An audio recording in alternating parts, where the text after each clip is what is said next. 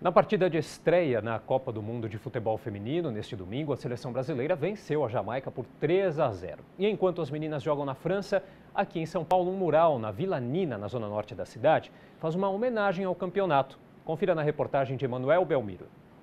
A rua Jerônimo Souto Maior, no bairro Vila Nina, zona norte de São Paulo, já não é mais a mesma depois que o endereço ganhou de presente este grafite.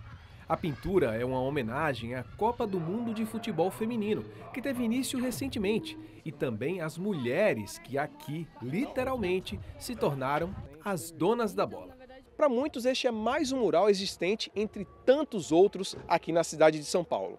Mas nessas imagens estão presentes diversos significados que podem inclusive servir de inspiração e também de estímulo às meninas aqui da comunidade para que elas se tornem no futuro mulheres tão importantes quanto as que inspiraram este painel. Acho muito bom. Estimula sim. Hoje em dia não tem só profissão de homem, de mulher. Né? Qualquer profissão as mulheres estão entrando, estão gostando. Para a Simone, mãe da Giovana, de 4 anos, o painel também passa uma mensagem bastante positiva, enaltecendo o papel da mulher na sociedade.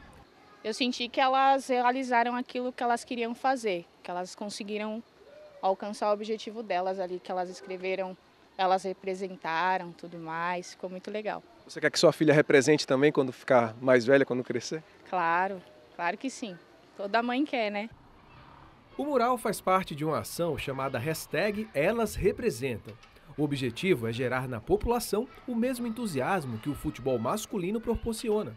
E detalhe, além de representar mulheres, o painel também foi feito por elas. Ao todo, foram três artistas. A Clara, grafiteira há três anos, é uma delas. Acho que o que a gente tomou bastante cuidado nesse painel foi não fazer nenhuma jogadora específica. A gente não quis representar a Marta, alguma dessas jogadoras mais famosas, justamente para que qualquer mulher ou menina que passasse aqui se identificasse e soubesse que ela também pode jogar. O grafite ele muda todo o ambiente, né? principalmente nesse bairro que não é tão visto.